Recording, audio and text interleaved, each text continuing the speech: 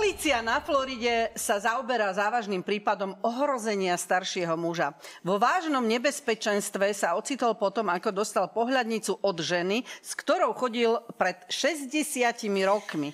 Pochopenie pre túto situáciu nemala jeho 71-ročná manželka.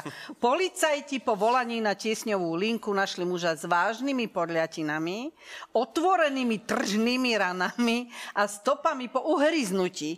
Tichým hlasom vypovedal, že manželka ho po prečítaní si tej pohľadnice chcela udusiť vankúšom, hoci sú už 50 rokov šťastne zosobášení. Obsah tej pohľadnice nebol doposiaľ zverejnený. No to je dôležité že čo tam bolo. To je hrozné, ale podliatiny, otvorné tržné rany, No, stopy ohryznutí. Dobre, on prežil, ale to takto dopadne, keď sa človek ožení s Rottweilerom. A čo je s ním, kde je pochovaná? Áno. vyhral? M- môj ujo bol svetkom niečoho podobného. On bol totiž poštár, roznášal listy a jednému adresátovi, 80-ročnému pánovi, doniesol list, ale jeho 79-ročná manželka mu ten list prečítala, strašne sa rozčulila, začala ho byť, mlátiť, podobne ako v tom prípade. Byla ho, byla ho, mlátila a kričala, i krajšia som, i mladšia som.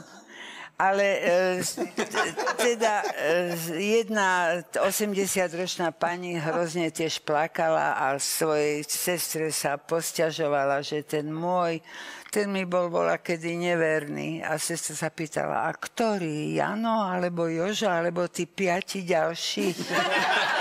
A ona povedala, nie, ten suknička, pišta. Ja, ja, ja som len rozmýšľal presne nad tým, čo si ty, Eni, naznačila, že, že čo vlastne tam muselo byť na tej pohľadnici. No, to je- že to je podľa mňa Že to tak vystrelilo tú No. ženu a ja som si predstavil, že, že čo, ako by si viem predstaviť, že čo by v nej mohlo. Také tri vety ma napadli, že jedna bola, že, že pozdravujú ťa naše tri deti, John, Miranda a William. že to si viem predstaviť, že by nastalo. Potom, že taká otázka, a čo tá tvoja schudla už, či stále robí v tie fotky, tie selfiečka na panoramatický mod. A úplne, čo si viem predstaviť, že to by naozaj neprežil, bolo, že naozaj si volil SNS v posledných voľbách.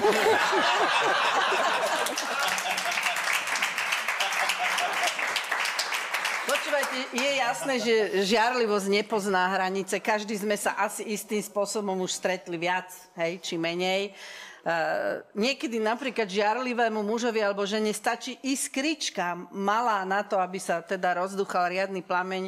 Ja nikdy nezabudnem na jednu svoju susedku, bolo to už dávno, bývali sme ešte v Petržalke v Paneláku a uh, oni teda starší manželský pár boli naši susedia a dobre si nažívali v pohode, nič sme také nezbadali a zrazu sme zistili, že ho vyhodila z toho bytu tak som ju stretla a som sa jej opýtala, Ľuba, a čo sa stalo, hovorím pre Boha živého, prečo si ho ty vyhodila z toho bytu? A ona tak bez zaváhania povedala, včera ráno odchádzal z domu a umil si zuby. To naposledy urobil, keď sme ženili syna. Niekoho má.